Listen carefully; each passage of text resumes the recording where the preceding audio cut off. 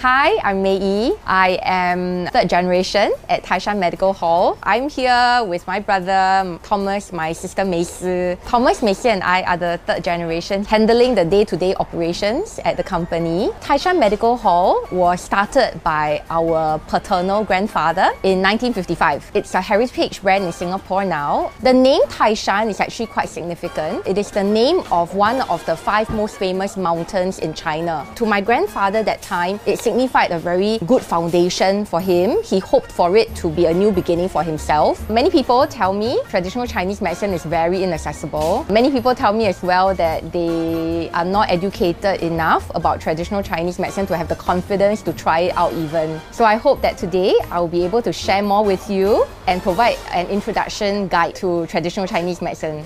This is a chest of drawers that is an antique, the most traditional part of a medical hall. It's more than 100 years old and we house more than 600 overall herbs in here. This is hawthorn. It's very commonly used as part of prescriptions because it's excellent for helping with digestion. This is not really medicine, it's a fruit. That's why there are a lot of teas that also use this. This is aged orange peel. It's completely different from if we eat orange at home and then we peel out and we dry them. These are actually very old. So orange peel is very interesting because it's very nice and citrusy, but at the same time it has a very nice mellow taste. And its purpose is actually to li qi, meaning that it actually strengthens and gives qi to your lungs. So people who have been coughing for a very long time, it does strengthen the lungs and help the lungs to not feel so tired. This is the preparation area within our medical hall where we have a lot of equipment equipment that we use all the time, every day. Over here, we have the slices. Uh, for example, ginseng will have to be sliced in order for customers to have it as a tea. These are very, very important as part of a traditional medical hall. These are toasters. We have to heat up certain types of herbs in order for them to be soft before they can actually be sliced. And we have our grinders as well because we will grind some of the tonics and herbs into fine powder for customers. We have many mortars and pestles. There are certain herbs that have to be broken into small pieces to have larger surface area or there can be certain types of herbs which have very high aromatic oil content and we will actually crush them before we put them into prescriptions or before we put them into different kinds of products. This is the other traditional part of our medical hall where we have a lot of herbs and tonics which are available for customers to choose.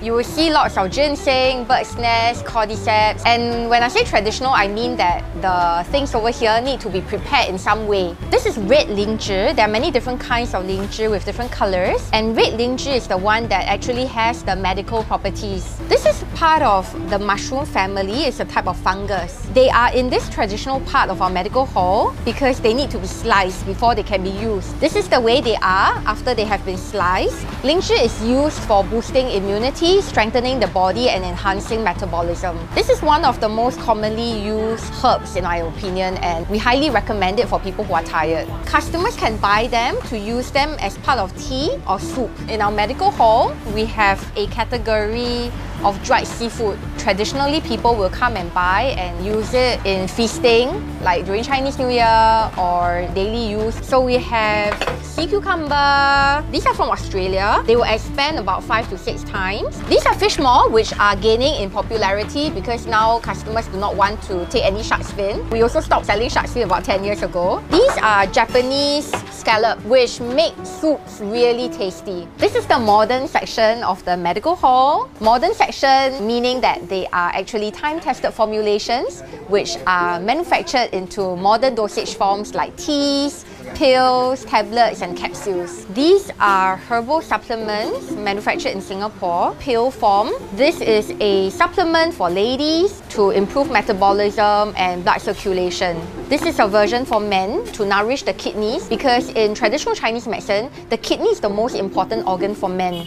What's available here are teas which taste good and are very healthy. We will recommend these to customers to say that they don't want to cook. There's a combination of different kinds of herbs and also flower teas and together they will serve a certain function like for example this is to enhance vision and to make the eyes less tired Singapore has a special reputation for topical medicaments like oils, balms, and patches. This is a very, very special category of products for us at Taishan because my grandfather actually made the effort to combine a lot of local ingredients into the formulations. We have a nutmeg oil. Nutmeg plantations used to be very rampant in Singapore, and this nutmeg oil is actually to help relieve flatulence in the stomach. This is an oil called aloe green grass to help stop bleeding and it's applied on cuts and wounds. The way that we have formulated it over the years is that we've added aloe vera. So aloe vera will make it less painful, especially when children want to use it